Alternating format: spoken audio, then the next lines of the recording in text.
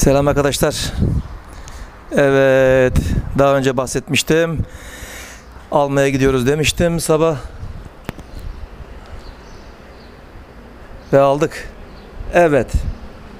M Max 155. Şimdi eve getirdim. Şöyle biraz size tanıtım yapayım. Arkadaşlar gerçi çok inceledim. Hakikaten internette baktım neye karar vereceğim. Bir türlü kararsız kaldım. İşte PCX mi alsam, Yamaha mı alsam? E, tabii e, yalan söylemeyeyim PCX'i e, sadece YouTube'da inceledim. Hiç motorun kendisine bakmadım. Yamaha'da sadece bir defa e, gittim gördüm. Ve bunu direkt beğendim. ABS olması bana çok büyük bir artı diye cezbetti. Artı e, 155 cc olması da ayrıca beni çok sevindirdi. Arkadaş şimdi motoru aldım eve geldim yaklaşık bir 4-5 kilometre yaptım. Ya ama yani var ya e, hakikaten altında motor yokmuş gibiydi be. Vallahi acayip acayip güzel bir e, sürüş keyfi var dostlar. Vallahi bilmiyorum. Yani şimdi şey de haksızlık olmasın ayrıldık e, diğer motordan. E, ama fakat hakikaten valla kayıyor. Yağ gibi kayıyor dostlar. İşte size Yamaha MX 155 artık vloglarımı bununla çekeceğim. Arkadaşlar lastikler Dunlop. Yani e, gerçi YouTube kanallarının hepsinde bunu görüyorsunuz ya. E, ben de çok fazla şey yapmak istemiyorum ama böyle teknik konularda Dunlop lastik var. Lastikler fıstık gibi. ABS'si var. Gördüğünüz gibi. Şekil bir motor. Ayak koruması. Şöyle açılıyor. Klik diye ses çıkıyor. Hop kapatıyorsun. Vallahi şöyle baktığınız zaman motor herhangi bir aksesuar yapmanıza hiçbir şeye gerek yok dostlar.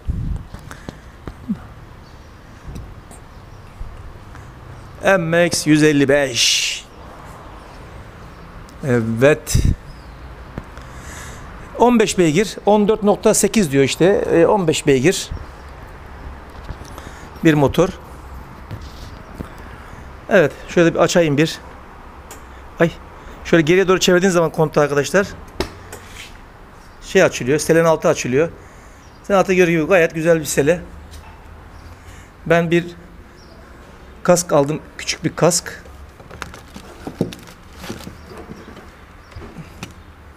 Ee, hangi kasktan aldım? Açık bir kask aldım. Ee, scooter kaskı. Hoş bir kask aldım. O sığıyor. Üzerine istediğin her şeyi koy. Burada neler yazıyor? Gördüğünüz gibi önler 20 e, 22, arkalar 36 PCI olacakmış arkadaşlar. Gördüğünüz gibi. Lastik havalarının da şeyi burada yazıyor. Ondan sonracıma kapaması da çok kolay. Ortaya doğru bastırıyorsunuz. Bak klik diye bir ses duyuluyor. Burası benzin kapağı zaten biliyorsunuz hepiniz. Ondan sonracıma bunlar için fazla bir şey gerek yok ya işte uzun kısalar sağ sol e, korna e, çalıştırmak için Çalışmak için bir tane herhangi bir frene elinin basılı kalıyor. Ondan sonra çalışıyor. Öyle bir özelliği var. Onun dışında hem yan ayak var. Gördüğünüz gibi. Hem de e, şey e, se, ot, orta sehpa var. Orta sehpa var. Onu da söyleyeyim. Aa, onun aslında hoş olmuş ya. Güzel olmuş. Şöyle sileyim şöyle bir. Heh. Güzel olmuş dostlar. Valla şu 4 kilometre 5 kilometre geldim. Ama inanın e, ne motor sesi duydum. Doğru dürüst. Hoş bir şey olmuş. Dur bakalım şu kısaları bir yakalım. Ha şeye bak yakalım. Ne demek bak zımbırtı. Dostlar işte gördüğünüz göstergesi şu abicim. Hepsi bu. Bu reset düğmesi. Bunlar da şey düğmesi, trip düğmesi, trip 1, trip 2, şu anki trip oil lambası, yine bir trip muhabbeti. Bu neymiş ya? Bunu bilmiyorum valla. Bir şehir için bu. Ha şu an 5 kilometre yapmışım. ABS e, şey zaman sönüyor. Bu saatimiz. Ondan sonra şurada benzin göstergemiz. Şimdi 2 litre benzin var dediler. Daha, daha gitmedim benzinliğe. Evet. Kısa açtığın zaman da böyle bir e, yanışı var ön lambaların. Şurada iki tane böyle lamba yanıyor. Gayet hoş. Kısa bir rüzgarlığı var dostlar. Yeter ya. Valla ben bu hoş duruyor. Ben yani bu rüzgarlık hoş duruyor ya. Ben uzatır mıyım bilmiyorum ama böyle hoş duruyor bu dostlar.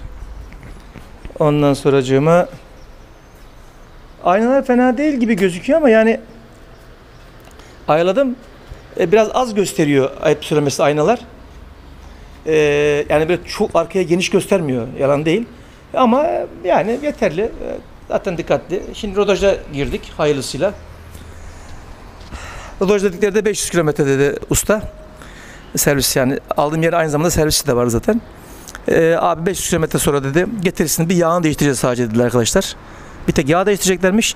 Sonra bin bakıma e, gideceğim. İşte o zaman artık neler yapacaklarsa bin bakımda yapacaklar.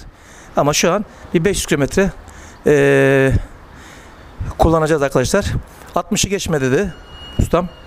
Ama dedi bir de şunu söyleyeyim arkadaşlar. Tabii yani belki birçoğunuz biliyordu da hani bu rodaj muhabbetinde sabit bir hızla gideyim falan diye değildi usta. Yani dedi hızı hep e, şey yapın dedi. E, değiştirin dedi. Yani sabit hızla gitmeyin. Yani 40, 50, 60, 40, 30, 40 yani böyle e, kilometreleri e, bir şey yapın. E, düşürün dedi. Hani bazen ben e, işte dinliyor seyrediyorum. Hani rodajda belli bir kilometre gidiliyor falan diye duyuyorum. E, Öyle değilmiş.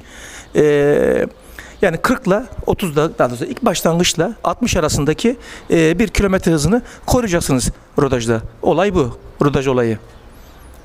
Onun için şimdi keyifli keyifli yeni motoruma bineceğim. Ya bir de çok kıvrak be.